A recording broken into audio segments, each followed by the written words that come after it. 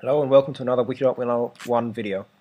Today I'm going to show you how to edit your theme if you have been given some custom CSS on the community. So if there's a small problem that you've got with your site and someone produces, gives you some CSS to fix it, um, this is how you add it to your website. So we'll call this editing your theme. Now the page that you normally go to for editing a theme is admin themes. This could be quite often with an older Wikidot site you'll have it in your site manager. Um, in a future video I'll go through how to move it to a page because then you have a full history of changes and if you mess anything up you can just revert it. Um, but for now we'll assume that you use a template like the default template that we use for this um, which already has the theme um, pointing to a Wikidot page.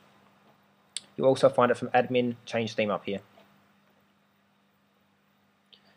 Now what I'm going to do here is I've already got uh, some CSS changes on my clipboard, so I'll just delete this.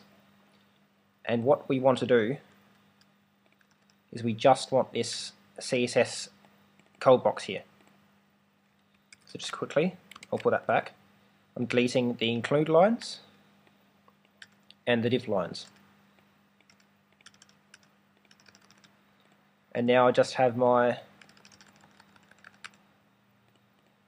two code tags and an import, which is importing the existing theme, which you see here, the blue colors, or is it the grey colors, sorry, up here.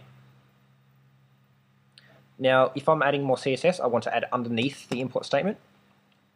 And just say I was given this code here. Now, what this will do is it will change how my links work. I'll just show you quickly what they do at the moment. If I go to the main page,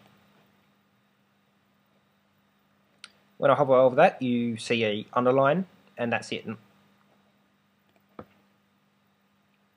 What I've done here is underneath the import, I've added in the code that just say someone on the Wikidot community gave you. Um, I've added that there. Now all I need to do is save the page. And there it is. And in your history, you can see, if I compare versions, that I deleted that code and added the new stuff. And if there was a problem with that, all I need to do is revert to the existing version. Now I'll show you what's different about this. You can see what it's like there. If I now refresh the page, it will have a background and a border around it. There. That was a change that I implemented.